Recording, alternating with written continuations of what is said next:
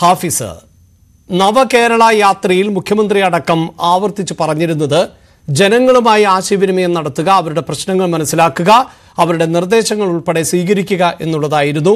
ആ യാത്രയിൽ ഒട്ടേറെ വിവാദങ്ങൾ ഉണ്ടായി. എന്തായാലും ആ യാത്ര അവസാനിച്ചു. പക്ഷേ സർക്കാർ പറയുന്നത് പ്രകാരമെങ്കിൽ ജനങ്ങളിൽ നിന്ന് പൗരപ്രമുഖരിൽ നിന്ന് സാധാരണക്കാരായ ആളുകളിൽ നിന്നൊക്കെ ലഭിച്ച ഇൻഫർമേഷനുകൾ ഇൻപുട്ടുകൾ എന്നത് വളരെ പ്രധാനമാണല്ലോ.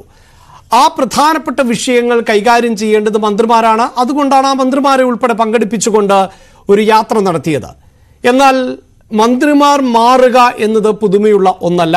അത് നേരത്തെ തന്നെ ഇടതുമുന്നണിയുടെ ധാരണയാണ്. ആ ധാരണ പ്രകാരം മാറുകയും ചെയ്യുന്നു. പക്ഷേ ഇങ്ങനെയൊരു അവസരത്തിൽ മന്ത്രിമാരെ ഉൾപ്പെടെ പഴയ മന്ത്രിമാരെ അടക്കം നവകേരള യാത്രയിൽ ഉപയോഗിക്കുകയും അതിന് തൊട്ടു പിന്നാലെ പുതിയ മന്ത്രിമാർക്ക് ഇടം നൽകുകയും ചെയ്യുമ്പോൾ പ്രതിപക്ഷം ഉൾപ്പെടെ ഉന്നയിക്കുന്ന ആരോപണങ്ങളെ തള്ളിക്കളയാൻ സാധിക്കുമോ?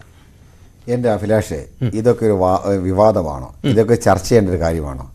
സത്യത്തിൽ ഈ കേരളത്തിലെ മാധ്യമപ്രവർത്തകരുടെ ആശയ ദാരിദ്ര്യം അല്ലെങ്കിൽ വാർത്താ ദാരിദ്ര്യത്തിന്റെ ഒരു ഭാഗമാണ്. ഇത്തരം ഒരു വിഷയം ചർച്ചയ്ക്കെടുക്കുന്നത്. എന്തുകൊണ്ട്? അതിലേക്കല്ലേ വരുന്നത്? ഈ സർക്കാർ അധികാരത്തിലെത്തുന്ന സമയത്തുണ്ടാക്കിയ ധാരണ പ്രകാരം എല്ലാ ഘടകകക്ഷികൾക്കും പ്രാതിനിധ്യം നൽകി. ശരി. അങ്ങ് ഒരു അംഗം മാത്രമുള്ള പാർട്ടിയുടെ ഒരു പ്രതിനിധിയെ പോലും ക്യാബിനറ്റിൽ ഉൾപ്പെടുത്താമെന്ന ഇടതുപക്ഷ ജനാധിപത്യയുടെ ധാരണ പ്രകാരം രണ്ടര വർഷമാകുമ്പോൾ രാജിവെക്കേണ്ടതാണ്. രണ്ടര വർഷം കഴിഞ്ഞ നവംബറിൽ പൂർത്തീകരിച്ചു. ആ സമയത്ത് കേരളത്തിന്റെ ജനഹൃദയങ്ങളിൽ കൂടി സഖാവ് പിണറായി വിജയൻ നയിക്കുന്ന നവകേരള യാത്ര നവകേരള സദസ് നടന്നു വരികയാണ് അപ്പോഴുണ്ടാക്കിയ ധാരണ എന്ന് പറയുന്നത് ജനുവരിക്ക് മുമ്പായിട്ട് ക്യാബിനറ്റ് പുനഃസംഘടിപ്പിക്കും നവകേരള സദസ്സ് കഴിഞ്ഞ ഉടനെ. പക്ഷേ നവകേരള സദസ് പൂർണമായി കഴിഞ്ഞിട്ടില്ല. സഖാവ് കാനം രാജേന്ദ്രന്റെ നിര്യാണത്തെ തുടർന്ന് എറണാകുളം എറണാകുളം ജില്ലയിലെ മൂവാറ്റുപുഴയും പിറവും അടക്കമുള്ള മണ്ഡലങ്ങളിലെ കുന്നത്തനാടും അടക്കമുള്ള മണ്ഡലങ്ങളിലെ നവകേരള സദസ്സ് പിന്നെ പെൻഡിങ് നിൽക്കുക ആ സമയത്ത് ആ ഇടവേളയിൽ നമ്മൾ മുൻ ധാരണ പ്രകാരമുള്ള രണ്ട് മന്ത്രിമാർ മാറി പുതിയ രണ്ട് മന്ത്രിമാർ വരുന്നു.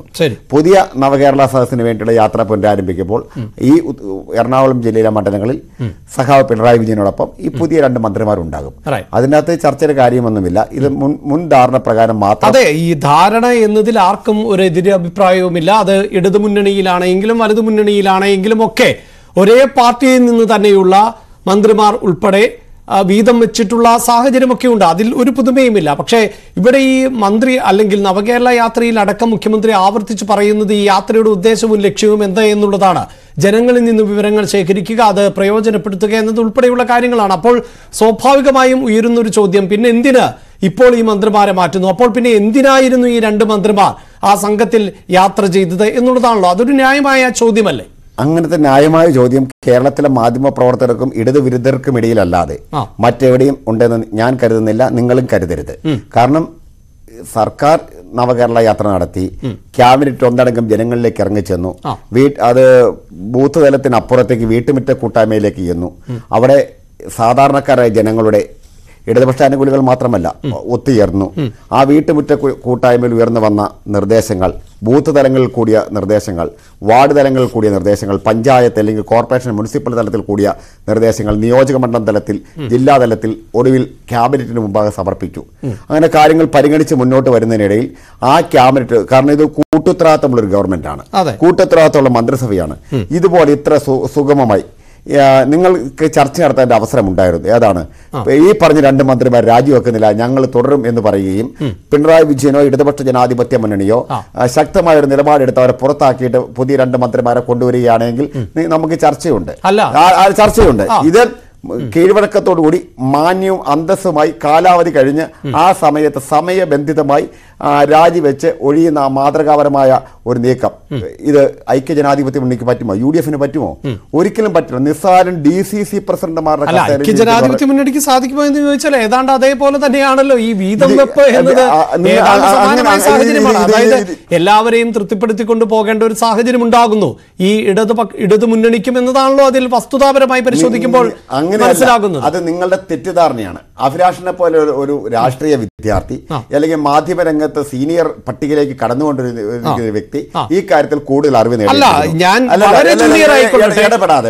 ഒരു മന്ത്രി ഒരു മന്ത്രിസഭയുടെ ഉത്തരവാദിത്തം കൂട്ടുത്തരവാദിത്തമാണ് എന്ന് താങ്കൾ പറയുമ്പോൾ തന്നെ പ്രധാനപ്പെട്ട വകുപ്പുകൾ കൈകാര്യം ചെയ്യുക ആ പ്രധാനപ്പെട്ട വകുപ്പുകളുടെ ഉത്തരവാദിത്തം ഏറ്റെടുക്കുക അതിൽ തന്നെ സമയബന്ധിതമായി കാര്യങ്ങൾ നിർവഹിച്ച് മുന്നോട്ട് കൊണ്ടുപോവുക എന്നതാണല്ലോ പ്രധാനം. അതിപ്പോൾ കേന്ദ്ര സർക്കാരിനെ പരിശോധിച്ചാൽ ആ, ചില പ്രോഗ്രസ് റിപ്പോർട്ടുകൾ തയ്യാറാക്കാറുണ്ട്. അപ്പോൾ കേന്ദ്ര സർക്കാരിനെ നമുക്കറിയാം അവിടെ ഒരു ഘടകമുന്നണിയിൽ നിന്നും മന്ത്രിമാരെ ഉൾപ്പെടുത്തിയില്ല എങ്കിൽ പോലും ഒന്നും സംഭവിക്കാനില്ല. അത്രയും വലിയ ഭൂരിപക്ഷമുണ്ട്. പക്ഷേ അപ്പോൾ പോലും ചില പ്രോഗ്രസ് റിപ്പോർട്ടുകൾ തയ്യാറാക്കുന്നു. ചില മന്ത്രിമാരുടെ പ്രകടനം മോശമാണ് എന്ന് കാണുന്നു. അവരെ പിൻവലിക്കുന്നു. പകരം മറ്റൊരു മന്ത്രിക്ക് സ്ഥാനം കൊടുക്കുന്നു. ഇതിപ്പോൾ അതൊന്നുമല്ല. താങ്കൾ സൂചിപ്പിച്ചതുപോലെ ഒരു മുന്നണി മര്യാദയുടെ ഭാഗം എന്നതിനപ്പുറത്ത് ജനങ്ങൾക്ക് കാര്യക്ഷമമായി എന്തെങ്കിലും നേട്ടമുണ്ടാകാൻ. എന്താ ഗതാഗത വകുപ്പ് ആന്റണി രാജു കൈകാര്യം ചെയ്തു. അവിടെ ഒരല്പം മോശമാണ് പ്രകടനം. എന്നാലും അല്ല ഞാൻ ഞാൻ ഉദാഹരണമായി. സൂചിപ്പിച്ചതാണ് ആ. അപ്പം നിങ്ങൾ പറയുന്ന മനസ്സിലാക്കേണ്ട ഒരു കാര്യം എന്ന് പറഞ്ഞാൽ ഞാൻ എന്നെ താങ്കളെ പറഞ്ഞ് ഞാൻ തിരുത്താൻ ശ്രമിച്ചെടുത്തുനിന്നാണ് താങ്കൾ തുടങ്ങിയത്. ഞാൻ പറഞ്ഞു നിങ്ങൾ മുതിർന്ന മാധ്യമ പ്രവർത്തകരുടെ പട്ടിയിലേക്ക് കടന്നു വരുന്ന ഒരാളാണ് എന്ന് പറഞ്ഞപ്പോൾ നിങ്ങൾ അതിനകത്ത് കയറി ഇടപെട്ടു. കൃത്യമായി അഭിലാഷം ഞാൻ കാര്യങ്ങൾ കാര്യങ്ങൾ പറഞ്ഞുതരാം. ഈ കേരളത്തിൽ ഇടതുപക്ഷ ജനാധിപത്യ മുന്നണിയാണെങ്കിലും യു ഡി എഫ് ആണെങ്കിലും ചില മിനിമം പരിപാടികളുടെ അടിസ്ഥാനത്തിൽ വ്യത്യസ്ത രാഷ്ട്രീയ കാഴ്ചപ്പാടുള്ള മുന്നണികളാണ്. ഇപ്പോൾ Kerala Congress Janata Dal N C P തുടങ്ങിയ ജനാധിപത്യ കക്ഷികൾ ഇടത് രാഷ്ട്രീയ സ്വഭാവമുള്ള സി പി എമ്മും സി പി എം അടക്കമുള്ള രാഷ്ട്രീയ പ്രസ്ഥാനങ്ങളും യോജിച്ചു വരുമ്പോഴാണ് ഇടതുപക്ഷ ജനാധിപത്യ മുന്നണി ഇടതുപക്ഷ ജനാധിപത്യ മുന്നണിയാകുന്നത്. അവരുടെ എല്ലാം അഭിപ്രായങ്ങൾ ക്രോഡീകരിക്കാനും ഏകോപിപ്പിക്കാനും നമുക്ക് കഴിയണം. നമുക്ക് ഒരു നിയമസഭയുടെ പതിനഞ്ച് ശതമാനത്തിൽ അധികരിക്കാൻ പാടില്ലാത്ത ഒരു മന്ത്രിസഭയെ പാടുള്ളൂ ക്യാബിനറ്റ്. പക്ഷേ എ കെ ആന്റണിയുടെ കാലത്ത് കെ എം മുരളീധരൻ ഉൾപ്പെടുത്തിയപ്പോൾ എല്ലാ ഇരുപത്തിരണ്ടാമത്തെ മന്ത്രിയായിരുന്നു. നമ്മൾ ഇരുപത്തൊന്ന് മന്ത്രിമാരുണ്ടായിരുന്നു. അഡീഷണൽ ആയ ഒരു മന്ത്രിയെ കൊടുത്തുകൊണ്ടാണ് കോൺഗ്രസ് ഗ്രൂപ്പ് രാഷ്ട്രീയത്തിന്റെ പേരിൽ ഒരു ഉപതെരഞ്ഞെടുപ്പിനെ നേരിട്ട് അവിടുത്തെ അന്നത്തെ ബൽറാം. ഇപ്പോഴത്തെ ഇപ്പോഴത്തെ ബൽറാം അല്ല അന്നത്തെ ബൽറാമിനെ രാജിവെപ്പിച്ച് തെരഞ്ഞെടുപ്പിൽ മത്സരിക്കുകയും ആ. ഒരു മന്ത്രി തന്നെ ഉപതെരഞ്ഞെടുപ്പിൽ കേരളത്തിൽ തോക്കുകയും ചെയ്തൊരു സാഹചര്യം ഉണ്ടായത്. ഇപ്പൊ അങ്ങനെ ഒരു സാഹചര്യത്തിലല്ല. ഇത് രാഷ്ട്രീയ തർക്കത്തിന്റെ പേരിലല്ല. അല്ല ശരിയെന്നല്ല. രാഷ്ട്രീയ തർക്കത്തിന്റെ പേരിലല്ല. അതല്ല എങ്കിൽ അധികാര തർക്കത്തിന്റെ പേരിലല്ല. എല്ലാ മുന്നണികൾ എല്ലാ പാർട്ടികൾക്കും മുന്നണിയിലെ ഘടകകക്ഷികൾക്ക് തുല്യമായ രീതിയിൽ അത് അധികാരത്തിന്റെ വീതം വെപ്പല്ല. കൃത്യമായ രാഷ്ട്രീയ അംഗീകാരമാണ്. അതിന് നിങ്ങൾ വിവാദമാക്കരുത്. ഈ ചർച്ച ഇവിടെ വൈൻഡപ്പ്. ചെയ്തുകൊണ്ട് ഞങ്ങളുടെ പ്രേക്ഷകരുടെ മാപ്പ് പറയാം. Right right